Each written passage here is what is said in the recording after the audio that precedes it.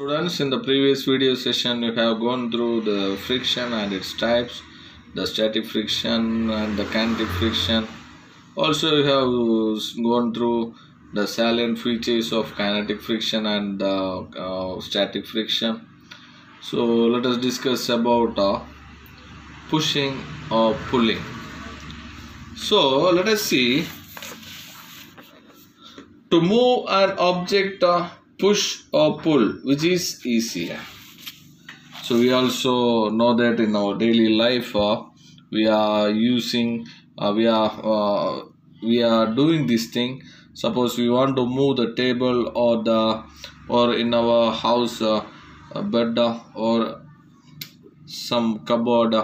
So anything we are moving means uh, maybe we will push that object or we will pull that object. We know that if we are pulling or pushing that object can move. Now based on this uh, we can see that uh, which one is easier. If you want to move the table a heavy table is there. You want to move that heavy table. So how you can move easily? That is what we can see so we know that uh, we all know that uh, uh, if you are asking these questions to the students, suddenly they will say that uh, pushing an object is easy Actually, in this concept, uh, we will understand that which will be easier. Let us see uh, an uh, diagram for that. Uh, assume that uh, this is uh,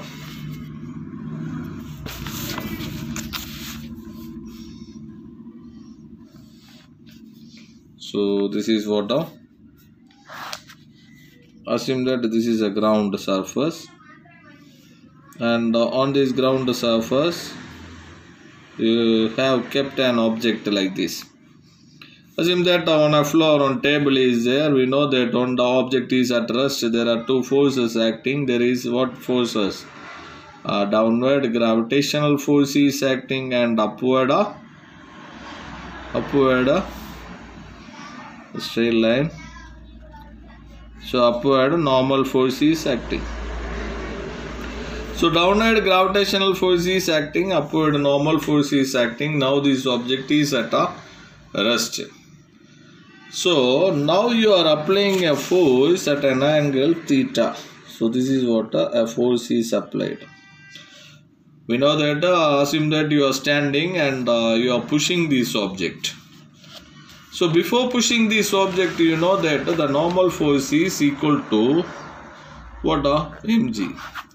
That is what happening before pushing this object. Now you are applying an external force, additional force F at an angle theta on this object. So what happened means due to this uh, now here it is making an angle theta so that this f can be resolved into two components. One is f cos theta and uh, another one is f sin theta. So you see you see here one force is applied uh, at an angle theta on this object. Now this force is resolved into two component f cos theta and f sin theta. And this f cos theta is a perpendicular component and f sin theta is a parallel component. So now you see now by using this you can draw a free body diagram. Now what will happen means before drawing the free body diagram you go through this.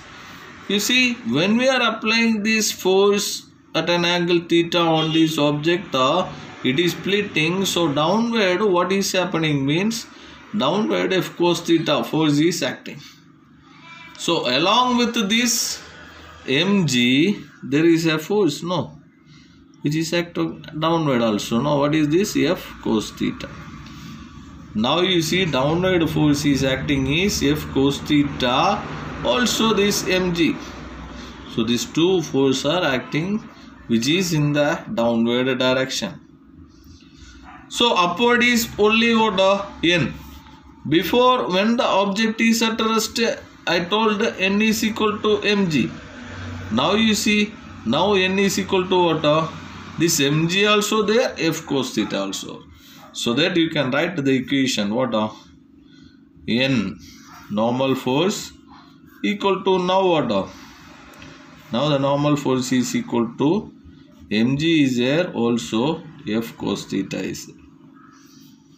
now we can keep that uh, while pushing.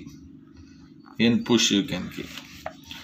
And uh, by using this uh, we know that uh, when we are applying a force on this direction so the object to move this direction when the object move this direction there will be opposite uh, uh, here this direction static friction is there fs now fs is equal to mu sn this is what a static friction formula. And here we are using n push so you can put push. Now you see fs equal to mu s. Instead of this n push you can put mg plus f cos theta. So mg plus f cos theta this is what uh, while pushing an object what happened means greater force needs to be applied uh, to move this object. So you see so we we need to now the static friction is also what uh, larger so we need to apply more force on this object uh, to push this object. Uh. the same thing assume that uh, the same object uh, now you know downward what will be there? Mg is acting. Upward what will be there? The upward is acting is normal force. Normal force. Now you see in the same thing now i am pulling this object. Pulling means uh, now also there is a force this direction. But now what is happening means this force is on this direction. You are pulling backward pulling not pushing. So force is acting this direction. Now what happened means this force again you see it is at an angle theta. Now it is splitting into two component this is perpendicular component f cos theta. And uh, this is what uh, f sin theta. Now pulling the object you see while pulling the object the upward force is what? A normal force and f cos theta downward only mg. So that you can write the equation. Upward is n plus f cos theta. Upward is. But downward is only mg. So now pulling times. N pull you can use so n pull is equal to mg minus f cos theta. Now you see downward force is reducing. So that uh, it will be very easy to pull an object uh, more than pushing an object. So this is what uh, about uh, pushing and pulling. And you can draw the free body diagram as well now for this free body diagram you see this is a block. This block uh, this block only i am putting this as a point mass. Downward what is there? Mg. Upward normal force. Now what this force? So this is in the direction you see like this. So it is going like this f. Now you see opposite what is there friction is there. So opposite friction. This is a free body diagram for pushing an object. Now pulling an object uh, free body diagram you see. Now this is a block. This block I have put it as a point mass uh, downward mg upward normal force. And now you see force uh, backward direction. So force is in the backward direction. Now friction. This direction it moves no? So this direction it moves. So friction will be opposite direction so friction will be so you have to draw this one not like this. Okay so I will draw again so this is the block. This is a normal force. This is mg so mg normal force. Now force this direction. So little at an angle theta you have to draw. This is force. Now friction this direction. This is what the f force so this is a free diagram for pulling an object uh. so next uh, we can see is this is what uh, uh, about the object to move an object uh, push or pull an object means which one will be easy yeah pulling an object will be easier than pushing an object uh. so next we can see is a new topic uh, about the angle of friction angle of friction so first you have to know what is this angle of friction. Angle of friction means it is the angle between. You see as in that uh, this is a horizontal surface. One object is there like this. You are applying a force on this direction. So this direction you are applying a force. Uh, so that now the normal force is like this this is a normal force. So when you are applying the force this direction this is normal force. Opposite friction will be there. This is what a friction is okay? Fs. Fs maximum you can use okay? Frictional maximum frictional force. Now you see this is a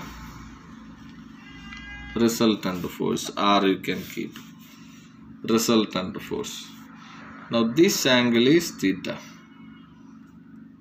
This angle is theta. So what is this? So this this is the angle of friction and the theta we can tell. So the angle of friction means how we can define means?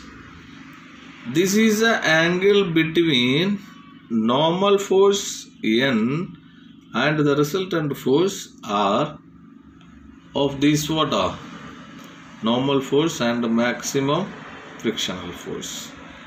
So you know that uh, you know that uh, this r means what uh, it is the resultant of this normal force n and uh, this maximum frictional force. That is what this angle of friction is defined as the angle between the normal force and the resultant force. Angle between you see the angle between normal force and the resultant force and what it is what this resultant force means it is what uh, it is for this normal force and the maximum frictional force. Now there is a small derivation and uh, first you can find out the resultant force. Resultant force. Uh, we know this thing resultant force how to find out uh, r square is equal to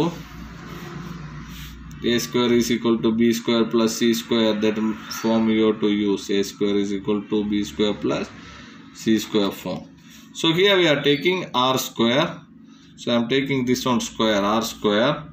So that what will come? It is equal to this one square plus this one square so that uh, fs maximum square plus n square. Okay. Now r is equal to what you can write? Root of fs maximum square plus n square. So I have taken the square that side that's what it comes as square root now. We know that uh, frictional force formula fs maximum will be the formula will be what? Is equal to mu sn the formula. Now we need to find out uh, from this what you can from this equation what I am going to write is mu s n is equal to fs fs maximum. So mu s is equal to what uh, fs maximum by n. Now remember this thing. This is what frictional force formula. And from that uh, I have taken what is mu s. So mu s is equal to what uh, fs maximum by n now what we to do means we have to find out the magnitude uh, or the we can tell that uh, the coefficient of static friction we can use. So while finding the magnitude we know that uh, we will take uh, this angle.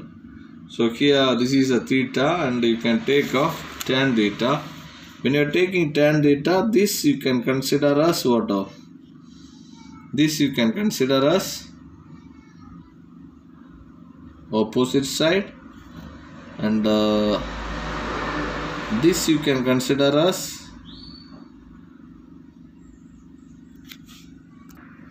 adjacent side uh. so this is theta. For this this is opposite uh, and this is adjacent. This opposite is equal to this one. So here fs maximum means here also fs maximum now you can take a tan theta. We know that tan theta is equal to opposite side by adjacent side so tan theta is equal to what is opposite side of? Fs maximum. Fs maximum divided by adjacent side. Adjacent side is cn so what is this fs maximum by n? It is equal to the mu s. It is equal to mu s. So that uh, you can write tan theta is equal to mu s. Because fx maximum by n means it is equal to mu s. So we got the coefficient of static friction mu s is equal to tan theta. So this is what uh, this derivation so you can derive this you can tell that you can define this. What the mu is equal to tan theta means you can tell this is what the coefficient of static friction. So the coefficient of static friction is equal to the tangent of the angle of friction. That is how we can define this. So again you can go through this.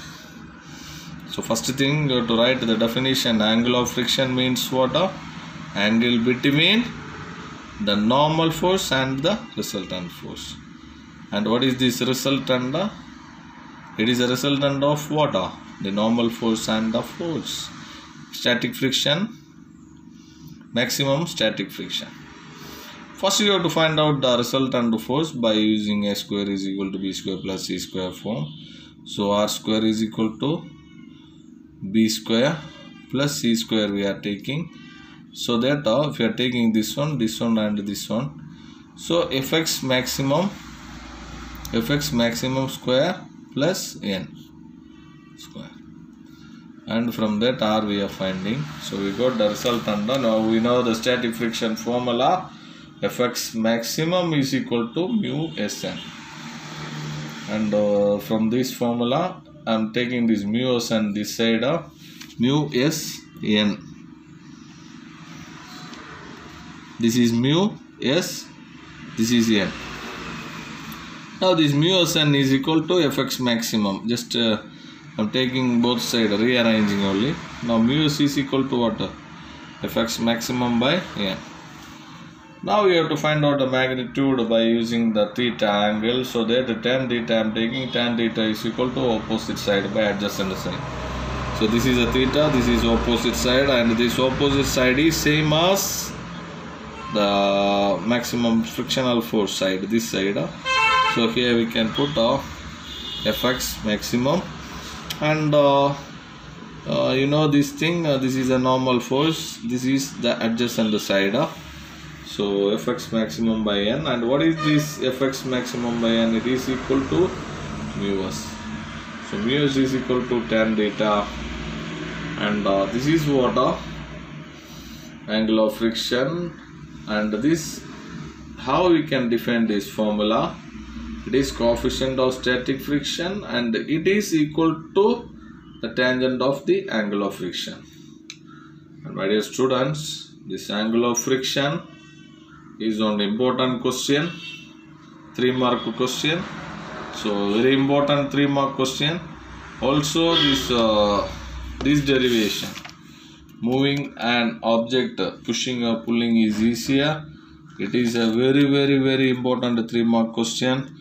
And this is what i gave today's assignment. All of you do this assignment and submit on this week. Ask your doubt and interact. Interact your doubt with your teachers during the zoom class time. So thank you all. Bye bye